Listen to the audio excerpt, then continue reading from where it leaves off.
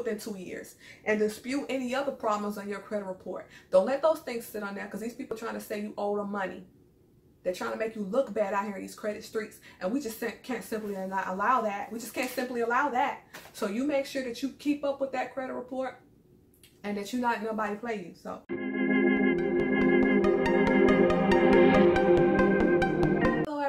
Name is Shonae. Thank you so much for tuning into Shonae's Law. If you are new, welcome. If you are returning, thank you so much for coming back to check on me, okay? Now, we are almost halfway done with our Millennial Success Bylaw series and we've come a really long way. We've talked about how to save money, how to budget, how to get a loan, how to get some credit, how to get a credit card. Hopefully not some of those stigmas off and you guys are well on your way or about to be well on your way to be debt free, saving money, killing these credit cards with kindness. And we're all the way on part six, but I'm glad that you all have been keeping up with it because we are building. We are building. Every video that you've seen thus far has set the foundation for the next. So it's important for you to have all those things digest into your system before we move on. This is part six. We will be talking about increasing and protecting your credit scores. Because now that you've got some credit or you're getting some credit, it's going to be important for you to protect it with your life, okay? So you want to keep in mind that this usually happens over time. You're not going to get a, a credit history or a strong credit history overnight. It's going to be taken into account with the new lifestyle that you have and what are you doing to utilize it into the future, okay? Because credit is a necessary evil and we all need to learn how to utilize it and make it work for us. So we're going to just jump right in. Rule number one, practicing good spending habits. Make sure that you are still spending within your budget. That's never going to change. Even millionaires try to put a cap on it, okay? This is never going to change. You only want to purchase what you can afford. Meaning if you can afford it without having to use the credit card or get a loan, then do that. Okay? We're not trying to go bankrupt out here. You know, if you knew better, you would do better. So once we start doing better because we know better, that's when the money's going to come. All right? You also want to keep low balances on all of the accounts for financing. So if you are about to get an auto loan, a home loan, you want to keep certain things within reason. Okay, don't go out here just because you get approved for an, out, an outlandish amount. That doesn't mean you have to use all of it. If you get approved for a $300,000 home, you don't have to use all of that 300,000. It's great that you could get approved for that much, but that doesn't mean you have to use all of it, okay? And keep low balances on these credit cards that you're getting. We already discussed that. Do not open up too many accounts at once. Don't go out here boiling out of control. Don't be getting a house. Don't be getting a car. Don't be getting a credit card. Don't be buying a boat. Do not be getting all these lines of credit open at once. You want to keep everything at a minimal. Okay? Moving on. Rule number two. Budgeting your funds. Again, we only want to use our credit for good. So use this only for emergencies. Use it like a layaway plan, a layaway plan that you actually plan on paying for getting out. I'm not saying get it and leave it, okay? I'm saying be responsible and taking care of it. Finance major purchases. We've already discussed this a little bit when we talked about credit cards, but this is for all of your loans. Any money that you were borrowing from folks, if you got it from the Best Buy and they financed, if you got something from Lowe's and you got a car or you a line of credit with them, keep these purchases paid through them and pay them off, okay? But the big expenditures, we still, we still want to put on credit, but we want to pay it off. We want to be responsible. Do not abuse your credit limits. The credits on your cards, the credits through your banks. Again, it just because they give you an outlandish amount, you don't have to meet or exceed that amount. You want to keep it all under it as much as possible because remember, you owe this money.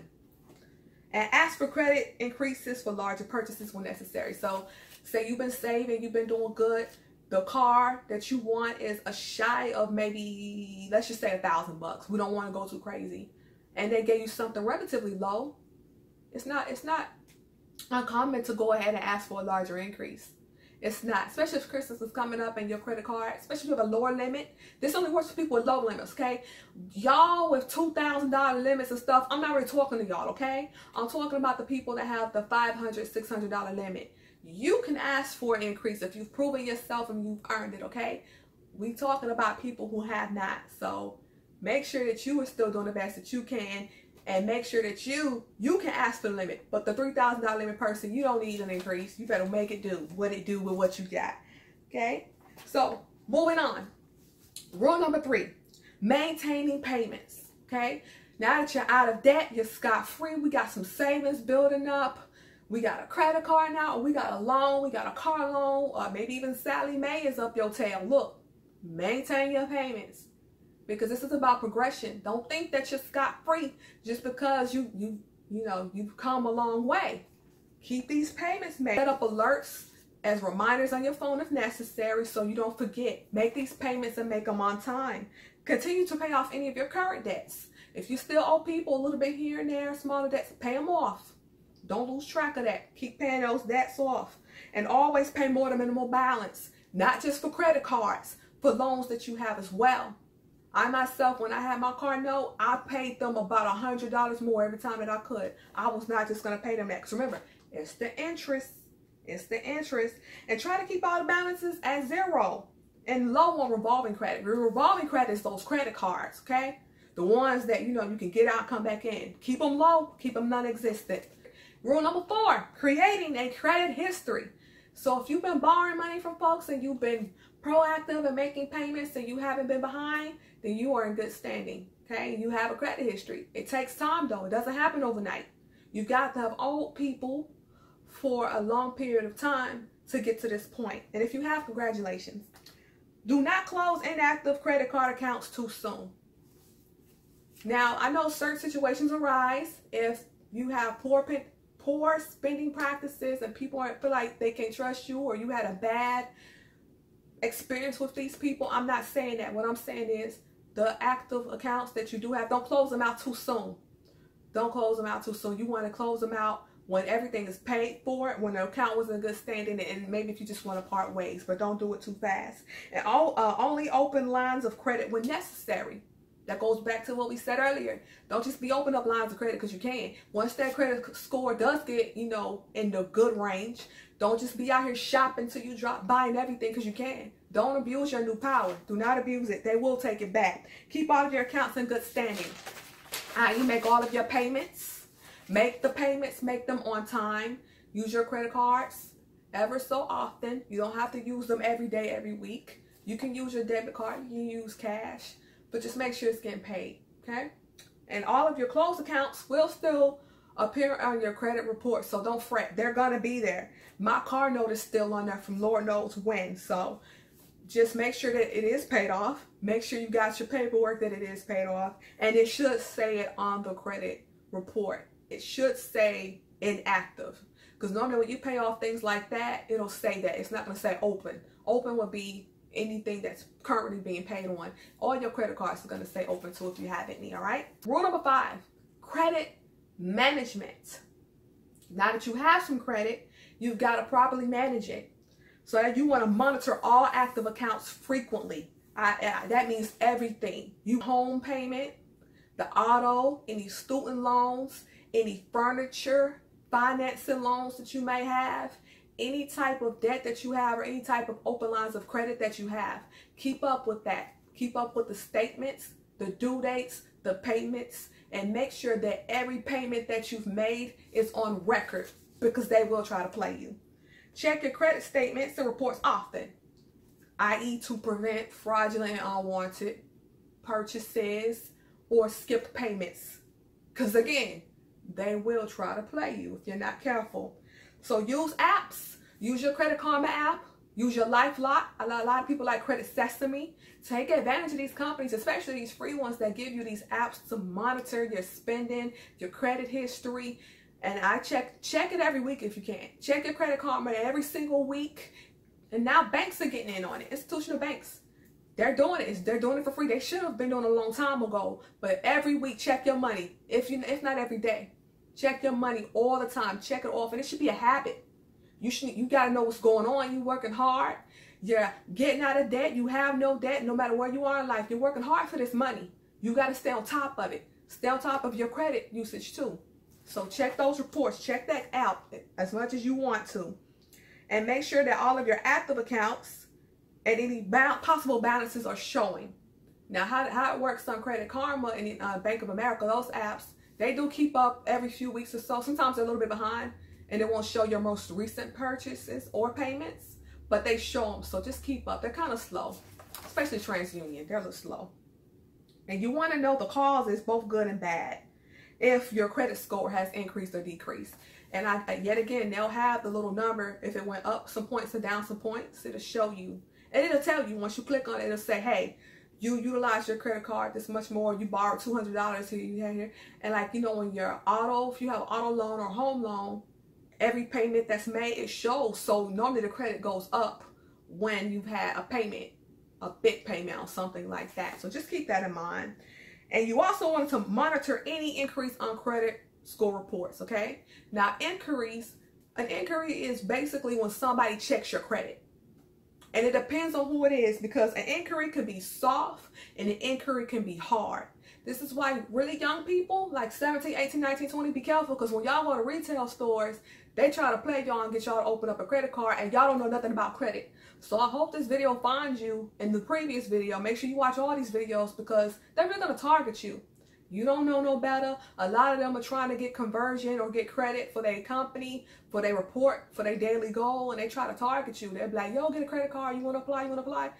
Don't. Because if you don't know anything about a credit card and responsibilities that go with it, you're going to be SOL. And it's going to be an inquiry on a credit report that you might not even be aware exists in this world yet.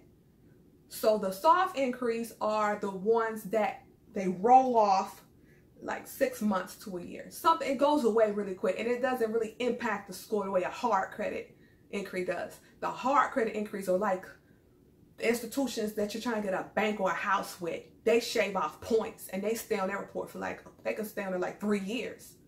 It just depends on who they are and what you was trying to get. They stay on their report longer and more points to get knocked off of that credit score. So you keep up with that. Don't let people fool you. You also want to remove all hard inquiries that don't fall off within two years and dispute any other problems on your credit report. Don't let those things sit on there because these people trying to say you owe them money. They're trying to make you look bad out here in these credit streets. And we just can't simply allow that. We just can't simply allow that. So you make sure that you keep up with that credit report and that you not nobody play you. So moving on. Rule number six, check all three credit companies. Okay? You got Experian, Equifax, and TransUnion. Credit Karma only shows two. All right? A lot of companies only show two. Very few show all three. But you can go to annualcreditreport.com. I go every single year. I go every December, but you ain't got to do what I do. I go every year. I check all three reports. Remember, some of them are slower than others. Some of them show things that others don't. So you want to check all three. Never just trust the words of one credit union. You trust your all three together and make sure everybody's up to speed. If you see any discrepancies, fight them to death. Fight them to the death, okay? Don't let them incorrect items just stick there on your credit report when they don't deserve to be there. And you know, some companies do update fast and respect that. And of course, all three reports can, can vary throughout time among results. So check all three. Never be dependent upon one. Never be dependent upon two of them. You want to check all three credit reports to make sure that you are in the clear and there's nothing that you have to fight. All right. So, all right. That concludes part six increasing and protecting your credit scores. So I hope you've learned something. If you have any questions, please feel free to put them down in the comment section. Make sure that you step into this greatness. Like, comment, and subscribe to this channel and share this video because again we got to get people cognizant of what's going on we got to spread the awareness there's a plethora of people who don't get this knowledge and they they're confused a lot of people don't want to be vocal about it a lot of people don't want to say I don't know. Because, you know, with age, people get a little scared to admit that they didn't find this out sooner than later. But that's okay. That's okay. That's why this channel is here. So share this video with anybody who is thinking about getting a credit card or getting some credit, period. They don't know anything about credit. Share these videos. Keep the movement along, man. Do it for the culture. Do it for the culture. All right? So this is Shonae signing off. Thank you so much for watching Shonae's Law. I'm going to see you guys in part seven really soon. Make sure that you are watching all these videos step by step in sequence because we are building. I promise you, by the time we get to number 10, you guys are going to be amazed. Amazed at what we've accomplished and what you've learned and why every video was in a sequence that it is. So, thank you guys so much for watching. You guys have a wonderful day. I'll see you soon.